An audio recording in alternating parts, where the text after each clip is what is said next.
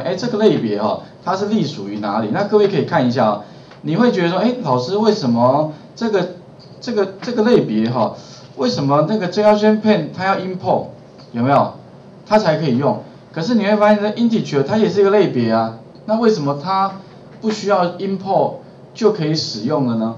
那特别注意一下啊，我把游标放上去，因为呢，这个类别它是隶属于哪里呢？Java 点 leg 啊，这个套件，只要是 Java 点 leg 哈，已经内建了，它已经预先预载入在 Java 里面了，你就不用再 import 了，好，这个是预载的，这有点像哈，呃，这个 j a v a p a n 有点像我前之前讲过啊，有网络卡，可能没呃刚出厂的时候有一些主机里面没有网络功能，那你另外插一个卡，另外你要去买嘛，对不对？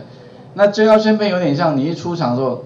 主机板已经跟已经什么了？已经 on board，已经已经就是已经内建了，已经 on board 在上面，那你就不需要再额外再购买了哈。所以特别注意，如果说你将来呢哈，只要是这个 Java 点 leg 里面的这个后面的东西啊，就不需要去做那个呃再再去做 import 的动作。那里面的话，当然哦，我们如果要把它转换成整数是 integer，那如果转换成 double 就 double 点，后面其实都是用点 value of。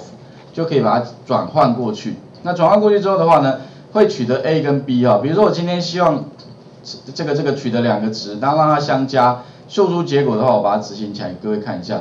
那这个部分的话呢，就直接执行。好，那你会发现呢，跳出来的时候呢，请输入 A 值啊。那 A 值部分的话，比如说我今天随便输入一个值啊，输入一个五好了，按一个确定。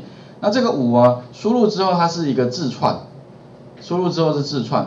那因为我有转换，所以把它存在 A 这个地方，所以 A 现在就是五了，OK。那 B 的话我输入六好了，OK。那按确定之后，它会把字串转换成为整数，再放在 B 里面。按一个确定之后呢，就执行这一行 output。那各位可以看到有没有？output 之后的结果呢，会在主控台里面呢，会秀出什么呢？秀出有没有乘法运算这个字串，再加上什么？加上这个两相乘的结果，所以秀出来是什么？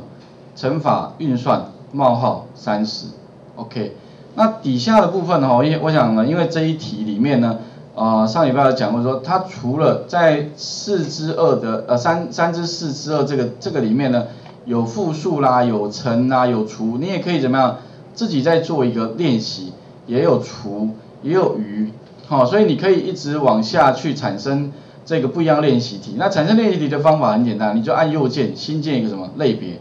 那就可以换下一题，换下一题。底下的话，我想还是要花一点时间去练习的。那主要让各位了解，就是说，在那个 Java 里面的，比如说复数，哈，还有乘法啦、除法等等的这一些，还有另外就是字串怎么串接，哈。那这一题还有公式啦等等的，让各位了解，就是说怎么去做运算。我想这部分的话是上个礼拜最后讲的。那今天的部分的话，哈，再来就要讲有关于那个条件控制叙述的部分。在各位的那个，我们今天要接下来来看一下这个，今天先来讲那个第四至八页这边有一个，好，四至八页这边有有一个范例哈，那这个范例里面呢有讲到一个，就是说呢，如果你要从外部取得资料的话，啊，外部取得资料的话，那我们可以用一个叫做呃 scan 的一个类别哈，这个